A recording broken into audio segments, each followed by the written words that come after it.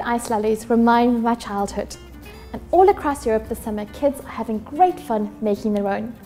But instead of using sugary cordials, why not freeze your favourite fruity smoothie?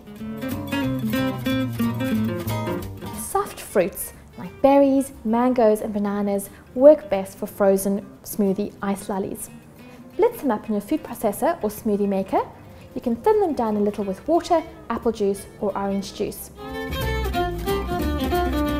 Into your mould. You can use proper ice lolly mould or recycle a container like an empty yogurt pot. You can fill to the top if you're just making one flavour of frozen smoothie ice lolly or you can freeze them in layers.